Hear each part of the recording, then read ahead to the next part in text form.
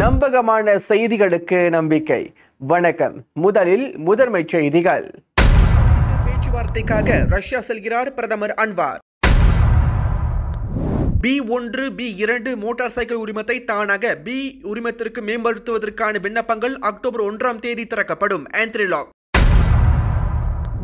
மகோத்தா சட்டமன்ற உறுப்பினர் ஷரிஃபா அஜிசா ஷேட் ஜைன் காலமானார். வெளிநாட்டினரை மிரட்டி பணம் இரு காவல்துறை அதிகாரிகள் பணியிடை நீக்கம் செய்யப்படுவர்.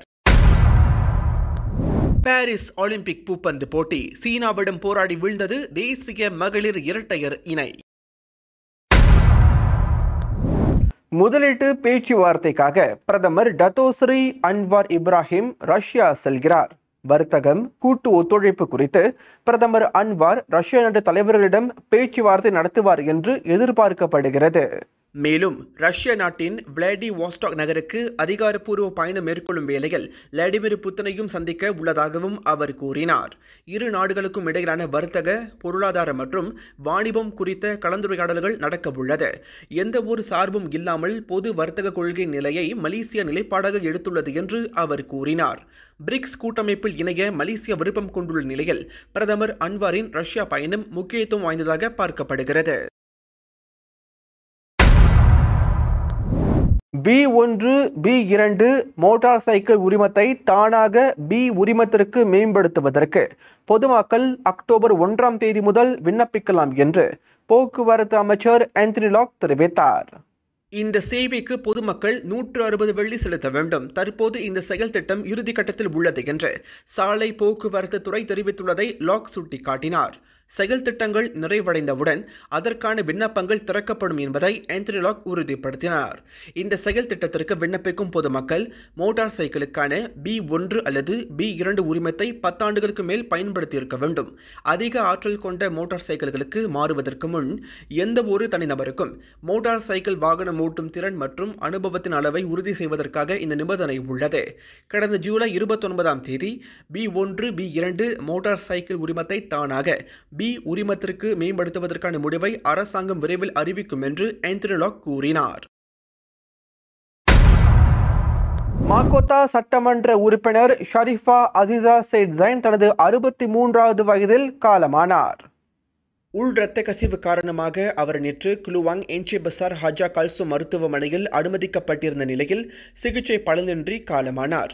குலுவாங் அம்னு மகளிர் பிரிவு தலைவியுமான இவர் ஜொஹூர் மாநில அம்னு மகளிர் பிரிவு தலைவராகவும் பதவி வகித்துள்ளார்.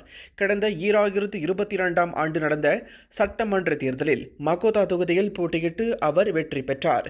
இதற்கிடையில் உம்மி என்று அனைவராலும் அன்பாக அழைக்கப்படும் ஷரீஃபா அசிசா ஷெட் ஜைன் அவர்களின் மறைவு அனைவருக்கும் பேரிழப்பு என்று ஜொஹூர் மாநில மந்திரி பசார் ஆன் ஹாஃபிஸ் காசி தனது முகநூல் பக்கத்தில் வருத்தம் தெரிவித்தார். மாநில சட்டமன்றத்திற்கு அவர் ஆற்றிய சேவையும் அர்ப்பணிப்பும் என்றும் மறக்கப்படாது என்று கூறினார்.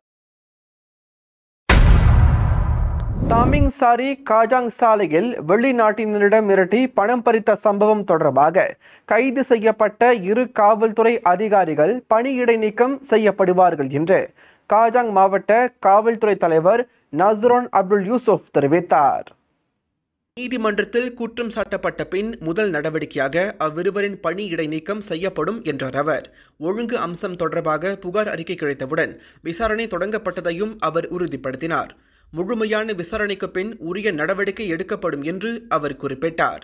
இரு காவல்துறை அதிகாரிகள் வெளிநாட்டினரை மிரட்டி பணம் பறிப்பது தொடர்பான காணொலி வைரலானதைத் தொடர்ந்து காஜாங் மாவட்ட காவல் தலைமையகத்தில் பணியிலிருந்த அவ்விரு காவல்துறை அதிகாரிகளும் கைது செய்யப்பட்டதாக ஊடகங்கள் முன்பு தெரிவித்தன.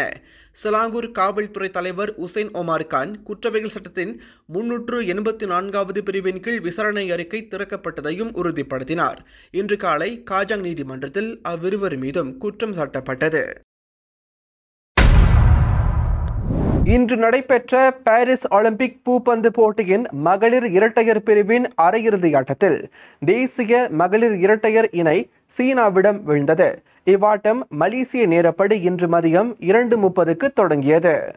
தேசிய மகளிர் இரட்டையர்களான பெர்லித்தான் எம்தீனா உலக தரவரிசையில் முதல் நிலையில் இருக்கும் சீனாவின் சென் குவிங் சென் ஜியா ஈஃபானை எதிர்கொண்டனர்.